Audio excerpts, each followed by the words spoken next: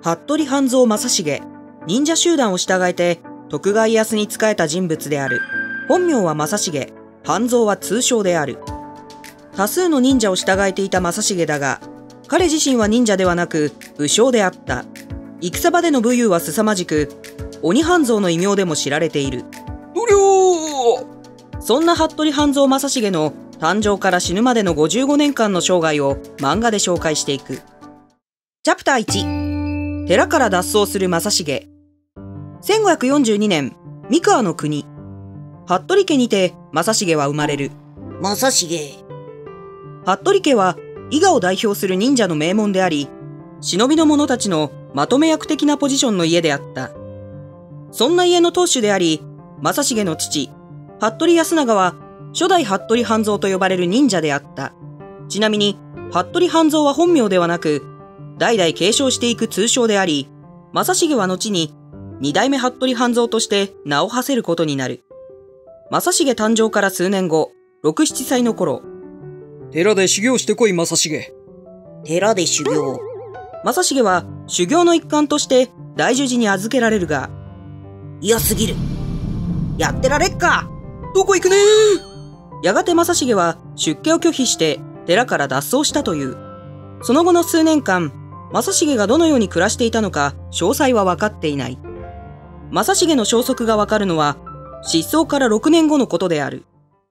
1557年、三河の国、上野郷城。正成は戦場にいた。服部家が仕える松平家の兵として戦に参加していた。おー初陣となったこの戦いで、正成は数十人の忍者集団を従えて野襲を決行し、成功させるという武功を挙げた。よっしょーよくやった、服部。ありがとうございます。褒美として、この槍をお前にやろう。あざます。武功が評価された正成は、松平軍の指揮官である徳川家康から、褒美として槍を送られている。この人のもとでなら、力を尽くしてもいいかもしれない。これ以降、正成は家康のもとで功績を重ねていくことになる。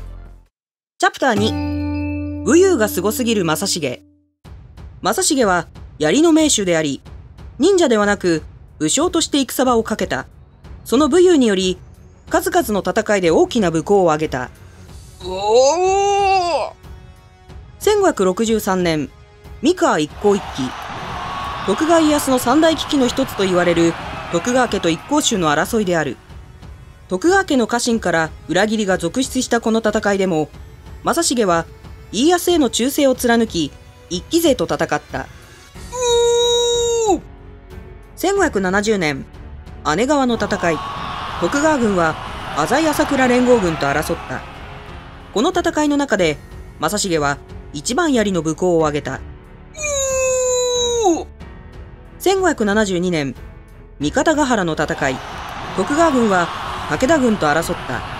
家康の三大危機の一つであり、家康率いる徳川軍が武田軍に完膚なきまでにボコボコにされた戦いである。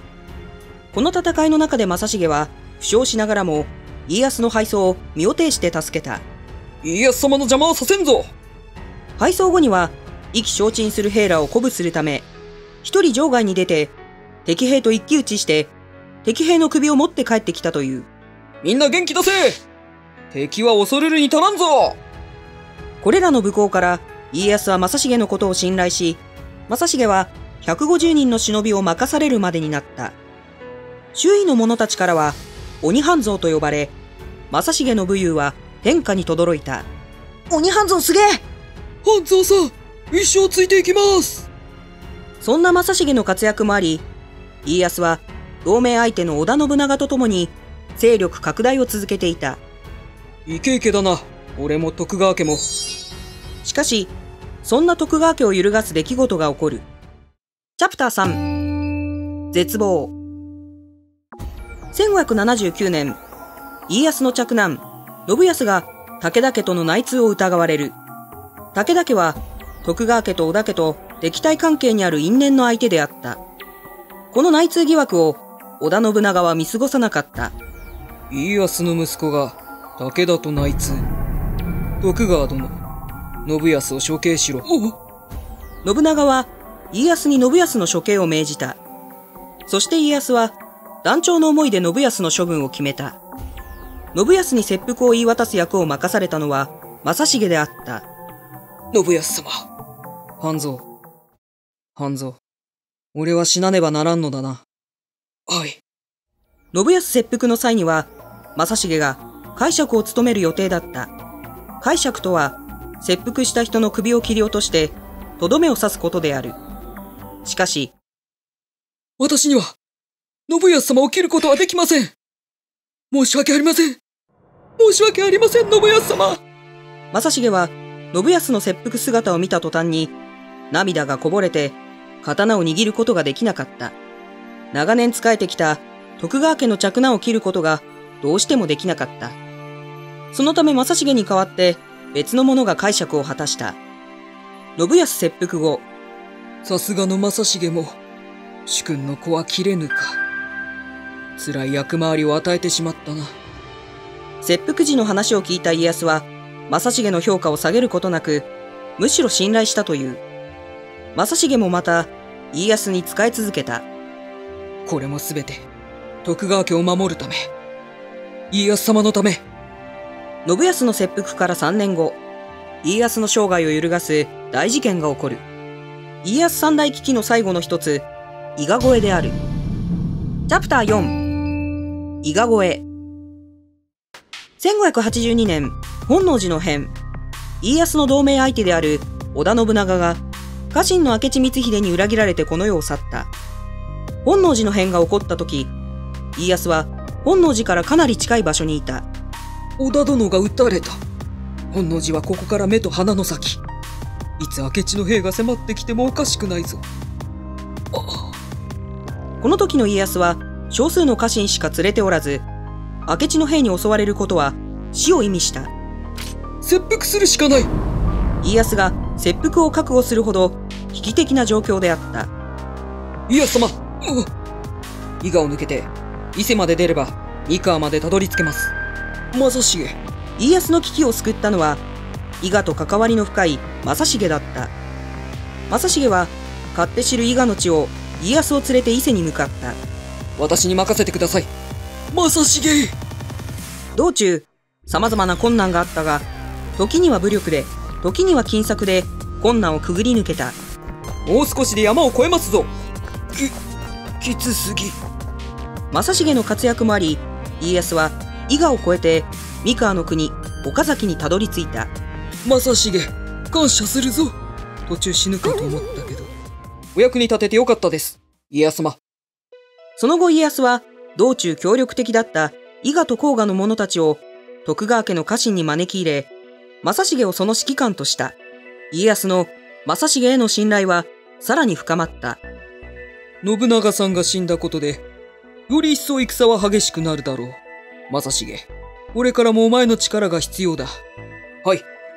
その後も正成は家康の下で戦い続けた。1582年、天正神護の乱。1584年、小牧長久手の戦い。1590年、小田原征伐。正成は数々の戦いに従軍し、勝利に貢献し続けた。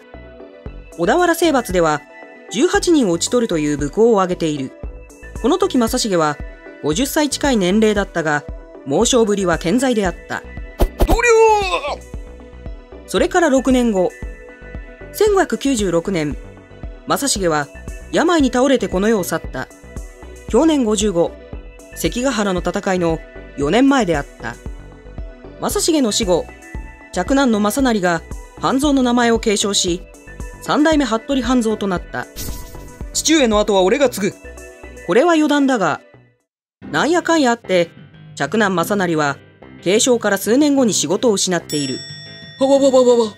服部半蔵のその後については、次回の動画で詳しく紹介していく。東京の地下鉄の路線に、半蔵門線があります。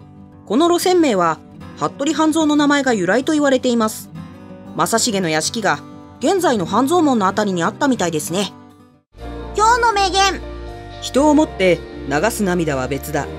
何があっても泣かないなんてやつを、俺は信用しない。スベロワ・ジンネマン、機動戦士ガンダムユニコーンより次回の日本史漫画は、歴代服部半蔵の中で最もやらかした男、三代目服部半蔵の生涯、